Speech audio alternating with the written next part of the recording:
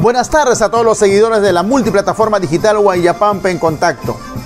Estamos en la vía principal de Aramay a Guayapampa, en el kilómetro 5 de esta carretera que conduce al distrito centenario de Guayapampa, un pueblo ubicado en el corazón de los Andes de la provincia de Recuay, en la región Ancash.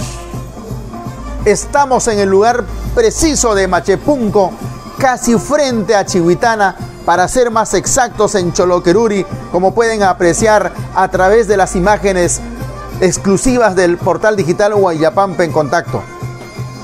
Hoy hablaremos sobre este ejemplar importante de la planta de Choloque en Guayapampa, que por cierto está en peligro de extinción. Para muchos gratos recuerdos con el Choloque, más conocido como la cañica de los Andes la planta de choloque de Machepunco y Cholocoruri en peligro de desaparecer por la depredación humana y la falta de protección y cuidado. El choloque de origen indio se trata de Sapindus, nombre genérico que deriva de las palabras sap que significa jabón e indicus que significa India, conocido como el champú de los Andes. Este fruto de la naturaleza proporciona muchas bondades curativas para la humanidad.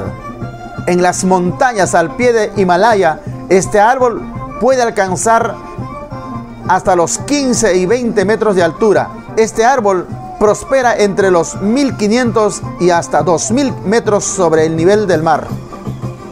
De la misma especie en América Latina, principalmente en Argentina, y también algunas zonas de nuestro país se encuentra la especie de Zampindus, especialmente en el distrito centenario de Guayapampa, de la cual debemos estar sumamente muy orgullosos.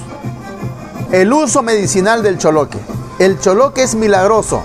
Su uso es variado como detergente, el champú, asimismo la nuez de jabón también puede usarse como un remedio natural para muchos problemas de salud como el tratamiento de dolores de cabeza por migraña y con fines dermatológicos en la que se usa las semillas para eliminar las impurezas de la piel como granos y acnés.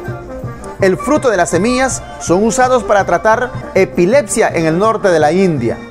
Se usa también como expectorante.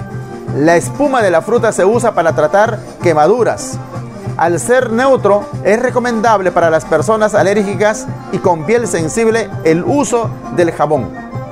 La espuma también se puede usar para eliminar los piojos. Asimismo, las semillas se usan en China para detener las caries dentales.